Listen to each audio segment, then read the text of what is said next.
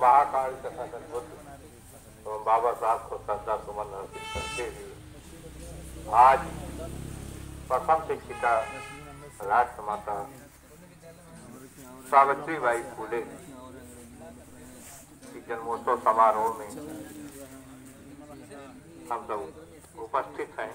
आपको सादा जय भीम समय बहुत कम मिला है। इस कम समय में हम चाहते हैं कि आप हमारी बात सुने।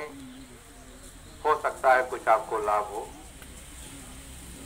तो ज़्यादा समय लेकर हमको आज इतनी बड़ी खुशी है। दो मीटिंगों में हम ज़्यादा खुश होते हैं जो इनका फ़ंक्शन होता है। एक बौद्धाचार समुदाय, एक शिक्षक समुदाय।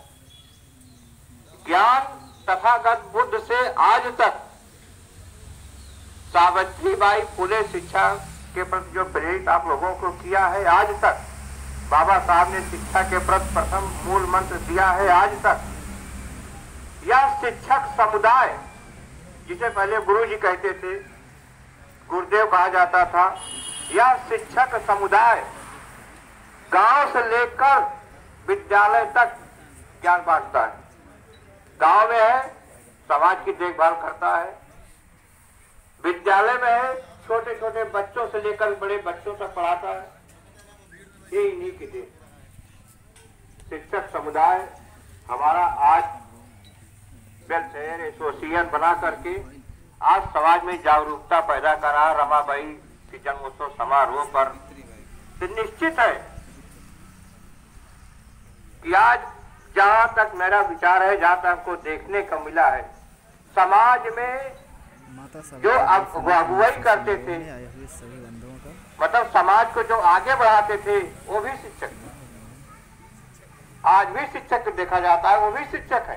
इसलिए मैं कहता गाँव से लेकर विद्यालय तक ये आप लोगों की ही देन है जो हमारा समाज आगे आज बढ़ रहा है। बाबा साहेब तथागत बुद्ध के प्रति प्रेरित हो रहा है आप लोगों की देन आज मैं इतना खुश हूँ। दोस्तों, कि अब इससे ज़्यादा मैं नहीं बोल सकता कि जो हमारा शिक्षक समुदाय अग्रणी हो गया, ये समाज का विकास रुकने वाला नहीं है।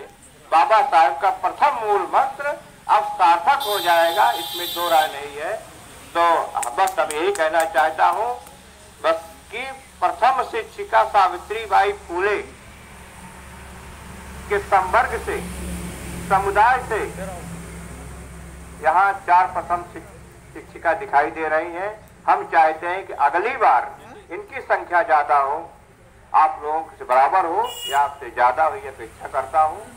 और साथ साथ मैं कहना चाहता हूँ कि न जाने कैसी हवा चली इस जमाने की। साख टूट गई मेरे आसियाने की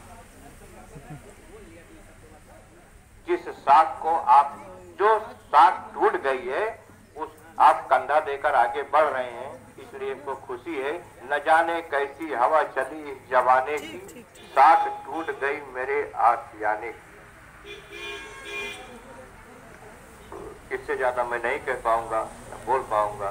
मैं इतना खुश हूँ इतना गदगद हूँ कि हमारा शिक्षक समाज आज पूरी समाज को लेकर के शिक्षा के प्रति समाज को प्रेरित कर करके आगे बढ़ा रहा है। इसी के साथ जय वे